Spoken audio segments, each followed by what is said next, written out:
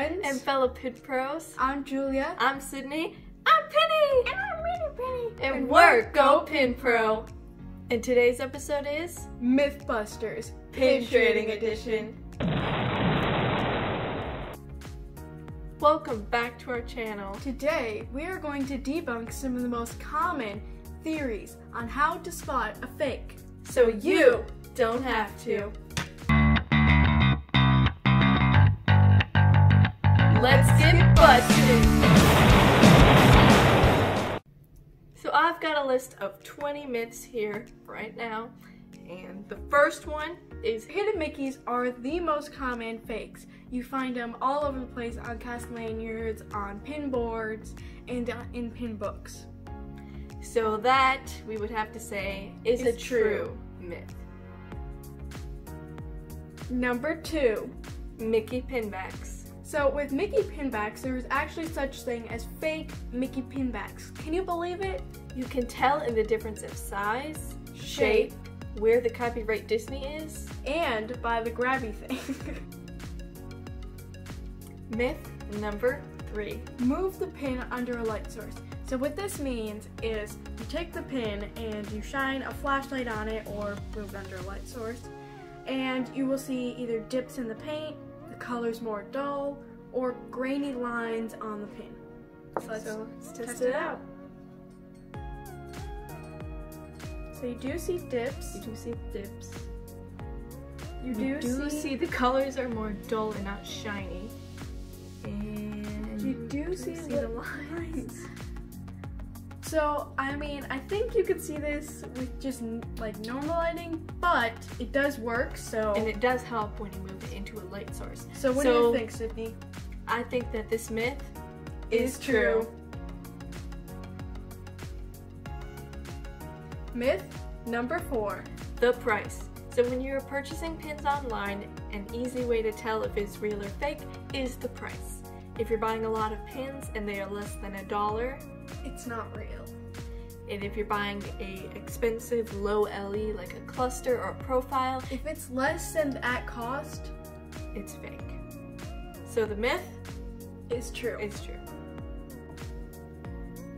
Myth number five. nubs, otherwise known as bumps. So what this means is on the back of some authentic Disney pins, there are these little nubs, which are basically mini posts, which is the posts are the stabby things.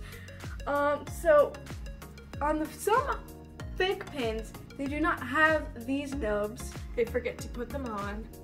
but with some fake pins, they do. And with some authentic pins, they don't have these two nubs on the side. So this myth Has been busted. Myth number six. a well-defined hidden Mickey symbol. So for this myth, they are saying that you can tell the difference between a real and a fake pin by the hidden Mickey symbol. So I'm showing you an example. So this Winnie the Pooh pin has a squashed hidden Mickey, so you can kind of tell that is not authentic there. But with this Maximus, the hidden Mickeys are almost identical. But with this Cinderella pin, this hidden Mickey is a tiny bit smaller, just a tad bit. Uh, so it is true on that one. But I would have to say this myth Has is been busted. Only because the fact that you can't tell it by all of the pins because the majority of them look the same. Myth number seven. Look for a high gloss finish. So what this means is on Disney pins, uh, most of the real pins have a nice glossy finish. They're nice, they're smooth. But with some of the fakes, they are, there's lines on them. It just doesn't feel nice against your finger as we stated in our video before this. Um, So, what do you think about this myth, Julia? I think this myth is a true myth. Myth number eight. Big color differences. So, as you guys might remember in our last video, green stitch. So, what they're saying here to tell the difference between a real and a fake is to tell by the color differences, as green stitch, for example. He's supposed to be blue. But this is only partly true because we have bought these pins from the Disney store at different timelines. Like this one we bought with our grandma, and this one we bought at a later time. Um, as you can see, there are big color differences with her, her skin and her dress. So this myth is Partly true. partly busted. Disney could have changed factories or the dialogue. So So the colors could have changed because of the factory. So this isn't always true, but just use your good judgment. Myth number nine. look for the official pin trading logo. So with this, we found one of our authentic Disney pins that was an older pin and it does not have the pin trading logo. Pin trading started in 1999 and back then they didn't have a pin trading logo. And they didn't start doing the pin trading logo until a little bit after that. So as you can tell with this non-authentic Tiana silhouette, they have the official pin trading logo. So the non-authentic pins do have pin trading logos and some authentic don't. So don't always listen to that one. Is it what do you think this myth is? I, think, it's this busted. Myth number 10. the pin post quality. So we were looking on all of our pins that we have here today and we couldn't really tell a difference in any of the pin posts. So we're not quite sure what that means. I'm guessing that you could tell, I mean if you really really looked hard you could see that this one is the same color and as we said that there was a color difference on the gold so this one is a different gold but I, I don't really know how to tell the difference of the good pin post and, and non-good pin post because they all seem to be fine to me. So what do you think about this myth? I think this myth is busted. Myths number 11 and 12. So these two are basically the same, so we combined them together to make it easier. Uh, Mickey waffling needs to be complete, and Mickey waffling needs to extend past the edge of the pin.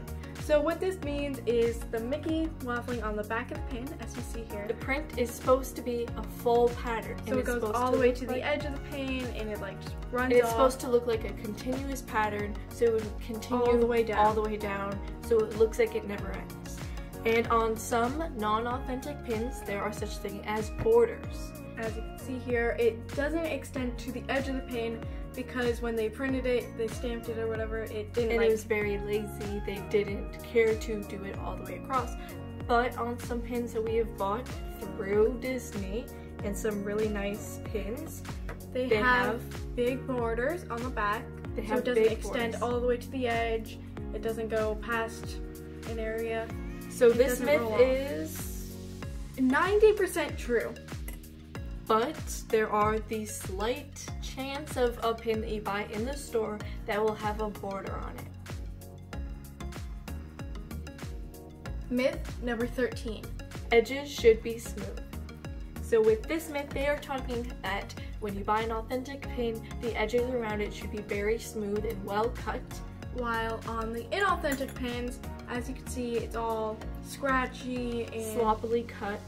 and it looks like it could hurt someone if they like rub their finger against it. Like an example, this Jessica Rabbit, on the inside of her arms, there are lots of access metal, and it looks like it could really cut you if it was on the edge of her. But there are some cases where you buy a pin in the store and they have scratchy edges and sharp edges. We bought a Mulan from this set, the stained glass princess set, and the stained glass was going through the top and it cut our finger. We ended up showing a manager and they ended up giving us a new one because it was very unsafe, Unsafe to be have. having around Walt Disney World. So they gave us a new one that had a smooth surface like most real pins should have. So this myth is 90% true. Myth number 14. dipping in enamel. So what this means is on some of the fake pins, they have dips and dunks, so it, the pin is not smooth. Uh, it feels rough against your finger, but on the authentic ones, it's really smooth, it feels really nice, it's glossy. It's a flat surface unlike the soft enamel, which means that there are dips inside of the painting. So with some of them though, there are fake pins that are still smooth. You there's no dunks in them. So what would you say about this it's a good indicator for um, spotting fake pins because barely any of authentic pins have soft enamel or Unless dips. you're buying them from Loungefly or Box Lunch, most Because of their pins do- are soft Yes. enamel. But Disney pins are almost always hard enamel. So this is a really good indicator to tell if your pin is indeed fake. Myth number 15. Look at the fine detail. So this is a really good indicator to tell if the pin is fake or not because of the fine detail on the pins. So for example, this is a Cinderella pin that is not authentic and you can tell by the sloppy paint that they did in her face that it is not authentic because the real pins they actually take time to work on their faces. And they do a really good job drawing the eyes and the mouth. And on all fake pins they don't really care. And They're they just just very sloppily put the eyes there. So that is how you look at the fine detail to tell whether the pin is real or not. So what would you think about this myth? It's true. This myth is true So that brings us to myth number 16 misspelt words. So this one we always laugh about because it's just so funny. It's uh, Jessica Rabbit pin on the back. It's just gibberish. Like you can't read what It it's, says, it's like, just like distend and like no, no stop, stitch or whatever. stitch and all these random letters and that is a very good way to tell if it's real or not because, Because Disney, Disney- does really good job checking the final edition. There was only one pin that we have seen that had a misspelling on it or a misprint and that was the Tower of Terror pin that was coming out for the 25th anniversary and it said it was made in 2004. And other than that, they, did change it before it actually hit the parks, but that was the only thing we could find that was an official Disney pin that had misspelling. So that is a really good way to tell if it is fake. So what do you think about this myth? It's true. Myth number 17. Check your pins with a magnet. So, So- we're going to do a really quick test and just like go across the board and see if any of them stick. Found one. stuck. I caught something. But the pin that stuck to mine is actually an authentic pin. but the pin that stuck to mine was an inauthentic pin. So this is the inauthentic version of the Princess Aurora cutie. And it sticks to the magnet. And this is a real American Express pin that was given out to a couple people and sticks to my magnet too.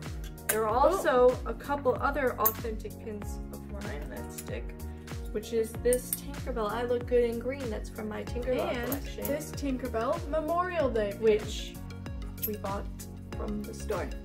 So we definitely know these pins are authentic, but they still stick. they are still sticking. So this myth is busted because Real pins do stick to the magnet, and fun fact, we actually saw some cast members uh, sticking some inauthentic pins to a magnet, and they don't stick, and then they picked up a pin on a card from the shelf, and it does stick to the magnet. And they it was stuck and we all were trying to help them get it off because it was stuck on so badly. And we were all like really pulling and then eventually it did it. And you know, the reaction when you fall back, it was it was like cartoons.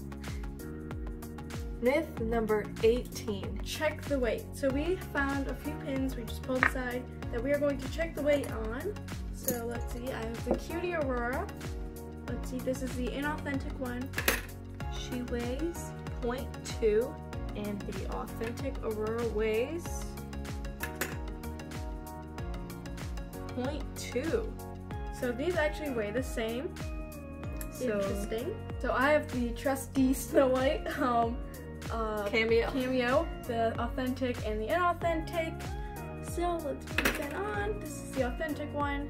weighs 0.3 and the Inauthentic weighs 0.2. So there is a weight difference on only some of the pins. As you can see, some of them do weigh the same as the authentic. But it is a really good indicator because of the fact that the pins weigh differently. It is really easy to tell. Like when you have them in your hands, you could just feel that some pins are way heavier and way lighter. So is this myth true or false or busted? It's true. It is true. Myth number 19. Pins that are real and pins that are inauthentic sound different. So this is a little different. I've never heard of this one personally. So let's test it out and see if it works. All right.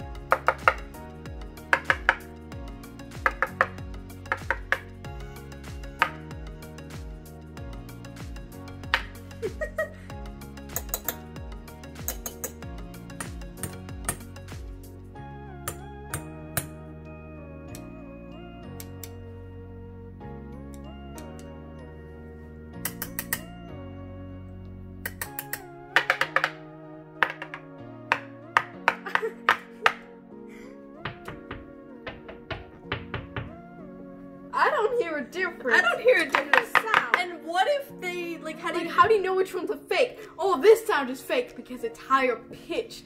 I don't But I hear don't any difference. difference. It just sounds the same. Let's see, let's try with this one. This one, I hear a slight difference because it's a thicker pin.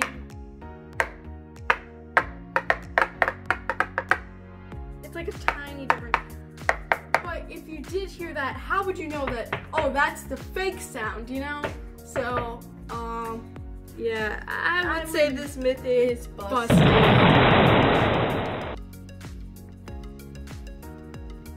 Myth number 20, and my personal favorite. Fake pins smell different. I don't even know. I don't really want to try this out because, like, who knows if there's like some sort of virus that follows these pins? You never know. Okay, so I'm gonna smell real Aurora or real Snow White.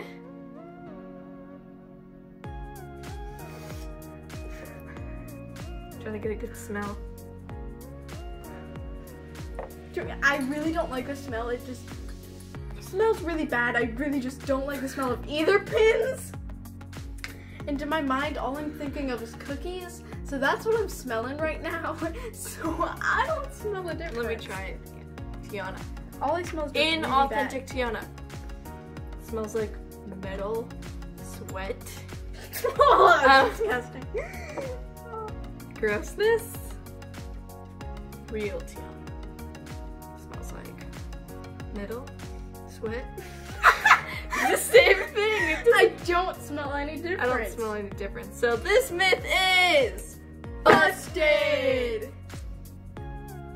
So thank you guys so much for watching. We had such a fun time doing these. So please- some myths. So please subscribe, leave a like, and, And comment, comment down, down below, below if you- your pins smell different. and what you would like to see next on our channel.